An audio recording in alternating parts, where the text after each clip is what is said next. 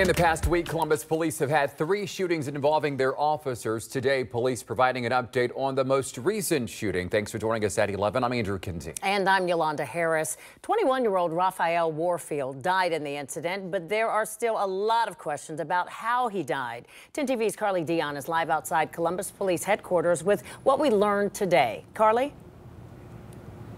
Yolanda Andrew, during today's press conference, Columbus police showed body worn camera from the incident, but it's still unclear what exactly happened.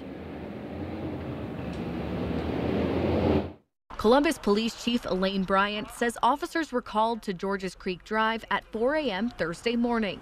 A caller reported to dispatch there was a person with a gun. According to the caller, the suspect was reported to have been behaving erratically in the home and threatened to shoot people in the house, including himself. During the press conference, the perspectives of three different body worn cameras were shown from the incident. This video shows officers arriving at the scene. As they attempt to communicate with the suspect, 21 year old Rafael Warfield, they were met with gunfire. Hey, Rafael, it's man. We just want to talk to you. If you can your hands up. Officers here can then be seen standing by as gunfire continues.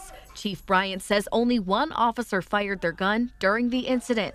Warfield was pronounced dead at the scene, but it's still unclear how he died.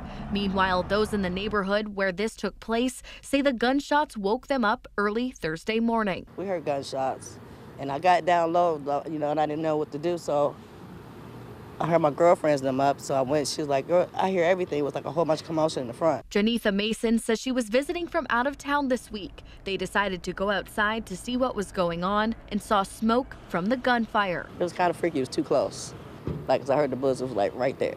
Columbus police originally reported the suspect had a self-inflicted gunshot wound. Several hours later, they retracted that statement, saying it was made in haste. That was made in error. That statement was given out, and the, the minute that I found out about it, we retracted it because we cannot make that statement. Chief Bryant says officers did call for the right response unit, which includes social workers for mental health situations. But that unit is only available until midnight, per Columbus Police's website. In a situation like this where there is a gun and, and someone actively, um, aggressively, uh, possibly uh, causing harm to themselves or to someone else, officers have to respond accordingly.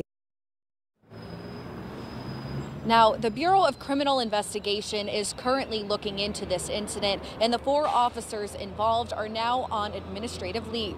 Live in downtown Columbus, Carly Dion, 10 TV News.